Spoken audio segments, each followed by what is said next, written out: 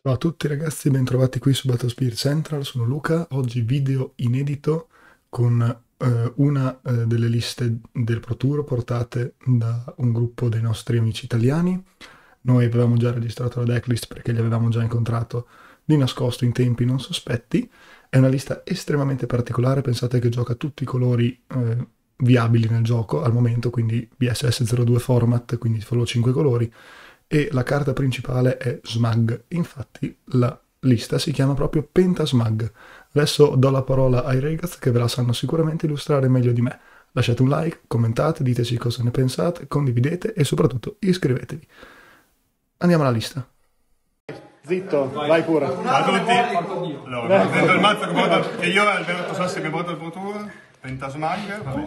Prima carta è Smug ovviamente. È, effetto molto forte, target di Bellegor, ci fa scontare tutto, vedrete che giochiamo un sacco di spell che si scontrano di due, quindi è praticamente il motore del mazzo. Smag per chi non, non lo conoscesse è la X delle, delle, dell'expansion set. Esatto, che magari è carta che nessuno, se, che nessuno, che nessuno gioca, però che ha cambiato completamente il mazzo, volendo giocare un, un arcobaleno, diciamo, lui ci sconta tutto, ci fa, ci fa, rampare volendo, e poi vedremo con Naumengard il core che rampiamo lo possiamo già utilizzare eh, il turno dopo, e alle volte anche pescare una carta. Allora, l'idea del mazzo è quella di giocare più o meno le carte più forti di, di tutti i colori, quindi d'obbligo 4 Worker Huntman, certo. che è il, praticamente il mazzo vuole sempre andare secondo, quindi il turno 1 migliore possibile è questo. L'alternativa è, eh, se l'altro gioca solo una carta, settare una burst e giocare smug per pescare uno. 4 Bellegor perché la recursion è sempre bella, siamo in cima, tutto in alto. 4 Scope Hole che scombano molto bene con, eh, con Bellegor, sono scontati da Smug e sono molto anche forti con, eh, con Naumenga quando refresciamo che abbiamo tutti i core a disposizione nella riserva.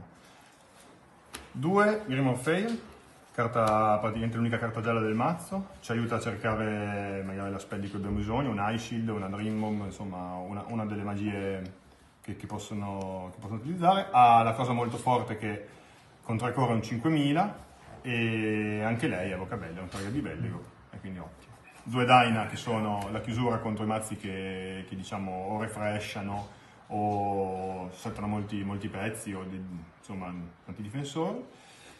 Due Six Ages, carta meravigliosa che ci permette di riprendere eh, oltre a Naumengard eh, o un Daina perché mm. ha l'effetto, dillo perché sì, secondo me praticamente quando, quando lo gioca When Summoned lei riprende un, uno spirit di ogni colore dalla discard, quindi il, il caso migliore sarebbe uno Scopole, una Grimoire Fairy, un Bellegor e, o un Naumengard o un, un Dine. Inoltre eh, ha un effetto carino al terzo livello che quando attacca uccide un 3000 per ogni colore rappresentato in gioco, quindi anche quelli smag che fanno da jolly eh, cioè non contano come tutti i colori, ma contano come il colore che vogliamo. Spesso possiamo andare a uccidere 2, 3, 4 pezzi a seconda di, di come gioca l'avversario. E poi l'altro motore del mazzo che è Namengar, che è una carta, non ha bisogno di presentazioni, probabilmente la carta più forte del gioco, secondo me.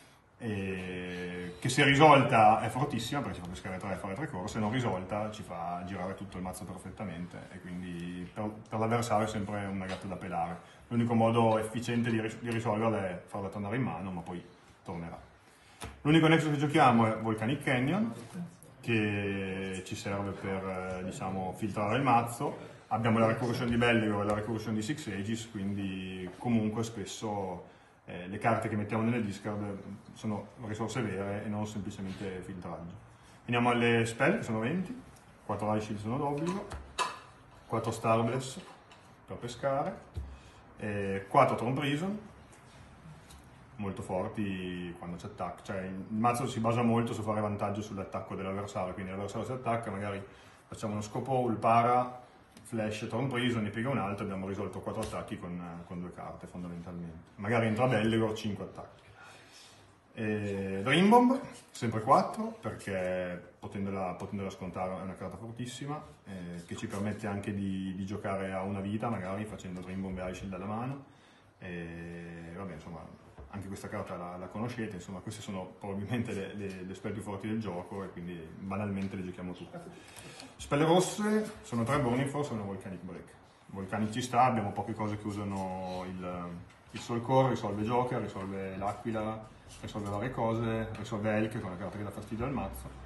Tripla Burning Force perché essendo sparita Adept alla fine va bene contro Agro, va bene per risolvere qualche Nexus. Bene, buona fortuna per il Pro Tour. Grazie.